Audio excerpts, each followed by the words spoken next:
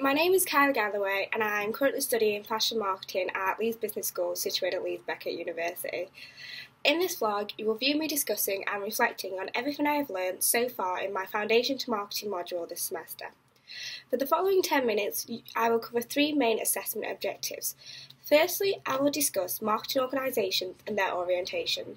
Secondly, I am going to challenge and compare the contrast between marketing myths with reality. And thirdly, my ability to reflect on the lessons. So let's begin. What is marketing? According to the Chartered Institute of Marketing, marketing is the process of anticipating, identifying, and satisfying customer requirements profitably. In other words, marketing is identifying a service or product that business or people may want or need. Ongoing from that process, through advertisement strategies, we are then able to promote the product or service to potential customers. Marketing is done through a variety of methods, such as social media, magazines, and freebies. For example, as part of a starter pamper pack, I received this Soap and Glory um, hand food from a collaboration between UCAS and FeelUnique.com. After using the product, I then went on to purchase the full size product valued at $8.95. This is a prime example of how market research was conducted and incorporated into a business plan in order to increase profits for the organisation. Marketing places the customer at the heart of all its business decisions, meaning that it's not just a function of business, it's a way of doing business. The marketing philosophy states that marketing is the responsibility of everyone involved within the organisation. All contact with customers or potential customers should carry out a consistent message throughout if not, a mixed message is given, it provides a distorted image to potential customers or current customers and could damage the organisation's future growth. Therefore, in order for marketing to be effective, it needs to work as an interface that will bring about the greater overall impact for the organisation and audience. Organisations that place customers at the heart of all its business decisions are said to be market orientated. According to Richardson, James, and Kelley, being market orientated consists of understanding current and future customer needs and wants in order to develop products and services that offer value for customers, distinctive from the offers of other companies which can be profitably produced. Hence, why companies must recognise the importance of continuing research in the marketplace and ongoing relationship with customers. There appears to be many benefits of being a market orientated company, such as the increase in sales, enhanced reputation, and the attraction of new customers. Now I'm going to discuss the four traditional orientations companies use in bid to reach success. These orientations are recognizable in the market and determine how well the business operates and how it attracts sales and its success in doing so. The first of the four is sales orientation. This strategy looks inwards at the business and its need to sell product or services rather than satisfying what the customer wants.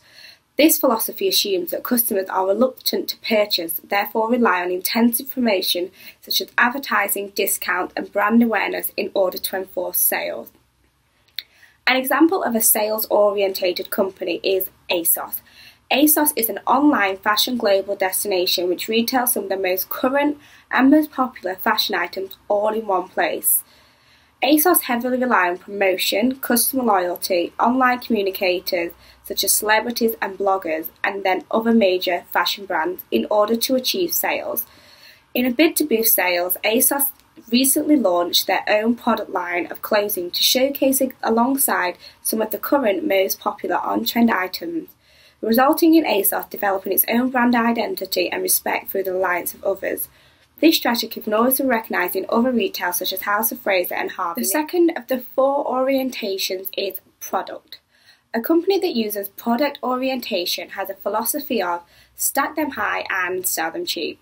They choose to ignore customers and their needs and just to focus on developing a high quality product at the right price. These companies work with a high volume and low margin concept, and an example of one would be Heinz. The third out of the four is marketing orientation. Marketing orientated companies work by a business model that focuses on delivering products designed according to customer desires, needs, and requirements. Companies that take this approach often end up being market leaders and their marketing activities consist of lots of market research, promoting loyalty, and seek to sell benefits and add value for all customers. I believe this is the most important marketing approach due to rising competition introduced by online retailers. A personal example is that I would rather shop online at feelunique.com opposed to the usual Superdrug or Boots, mainly because of the frequent recommendations I receive via email based on my purchase history, as well as the point system they have in place and the student discount. This makes me feel like a priority and makes me want to invest my money in their company. The final of the four is product orientated companies. These companies work by adding to existing ideas despite it being what customer want or need. These companies believe that due to the high quality of their product, they no longer need to spend money on market research as they believe their brand or product is superior and therefore the customers will automatically like it. However, this is problematic as superiority alone does not sell a product unless it satisfies the customer want and needs. An example of a product orientated company is Apple. They released the latest iPhone 7 in 2017 despite a perfectly working iPhone 6s in existence. Amongst the launch of the iPhone 7, one of the newly added features was wireless earphones. Although these sound revolutionizing and, let's be realistic, solve that everyday problem of tangled up earphones, you still have to charge those earpods up and pay an additional cost. Could you imagine losing them? Doesn't seem so smart in the end. However, Apple just saw this as another profitable opportunity regardless of the customer's approval or disapproval. But why do we continue to buy these products? Well, this leads us on to discussing the marketing myths. The first marketing myth that I am going to explore is that a strong brand is invincible. Well, back in 2010, BlackBerry Mobile was bringing in over $5 million revenue per year. They were the most popular devices and were truly dominated by the cool factor, with every celebrity and every major businessman owning one. With a range of devices and prices, it meant everyone, whatever the age, could have one.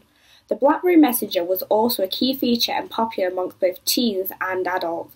It was one of the first successful messaging apps and was truly revolutionizing by However, when the revolutionary touchscreen smartphones hit the market, BlackBerry mobiles quickly turned into an antique device. BlackBerry believed that their phones would survive due to their keyboard feature, hoping that it would still attract a professional and business orientated crowd. However, they were wrong and years too late. BlackBerry's failure to adapt is a prime example of when a technological breakthrough occurs and a strong brand fails to innovate in a consumer technology market. On the other hand, since the shift from BlackBerry to Apple, Apple has dominated the smartphone market with over 94% of the smartphone industry's profits going to Apple. Apple's most recent launch of the new iPhone 7 contains some new features that not everyone liked, for example, the wireless earphones. Although it wasn't what we wanted, and despite the critiques, we are already seeing a rise in people embracing the new product. Like so, many Apple customers will continue to buy the latest Apple device despite knowing that the chargers always break and the screen smashes easily. The brand strength is almost able to control our decision and spending, supporting the theory that a strong brand is invincible. The second marketing myth that I'm going to analyse is that advertising always affects sales. This is only true if the advert becomes successful, however, isn't always a positive effect on sales. An example of advertisements affecting a company's sales negative way was after Victoria's Secrets made the mistake in their campaign stating the perfect body placed over an image of numerous skinny girls. This fired great deals of anger throughout the female population and peaceful protests begun. It resulted in damaging the brand's image and popularity amongst many. On the other hand, Cadbury's Gorilla advert had an astonishing effect on sales. Whilst the advert was aired, weekly sales went up by 9%. Both of these examples show for and against arguments that marketing always affects sales. The third and final marketing myth is that a satisfied customer is a loyal customer. This marketing myth is not true. For example, this year my phone contract com- come to an end, and despite being with Vodafone for the past 24 months, I was quickly able to switch to a new network, EE. Despite being a satisfied Vodafone customer, EE offered me the best deal for what I want at the time of purchase, so without much further consideration, I switched. This is something we see in, in the market all the time. If there's a better deal, us customers will go get it.